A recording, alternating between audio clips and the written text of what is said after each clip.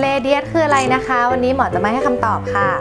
ก่อนอื่นนะคะก็ต้องมารู้จัก Radiesse ก่อนนะคะ ก็เป็นสารนะคะที่มีอนุพันธ์ของแคลเซียมนะคะ เพื่อมีหน้าที่กระตุ้นคอลลาเจนค่ะ สารกลุ่มนี้นะคะ เราก็จะเรียกว่าคอลลาเจน biostimulator ค่ะ สารตัวนี้เนี่ยเมื่อฉีดเข้าร่างกายแล้วจะไปกระตุ้นนะคะ ให้ร่างกายเกิดการสร้างคอลลาเจนนะคะ Radiesse เนี่ยจะสามารถกระตุ้นคอลลาเจนได้ทั้ง type 1แล้วก็ type 3ค่ะ เนื่องจากว่ามันกระตุ้นการสร้างคอลลาเจนนะคะ ผิวของใครที่หลวมๆนะคะ เมื่อฉีดเข้าไปเนี่ยก็จะมีคอลลาเจนผิวจะกระชับขึ้นนะคะ ใครที่มีร่องลึกนะคะ หรือคอลลาเจนน้อย ผิวก็จะดีขึ้นริ้วรอยร่องลึก fine line นะคะ ก็จะดีขึ้นค่ะ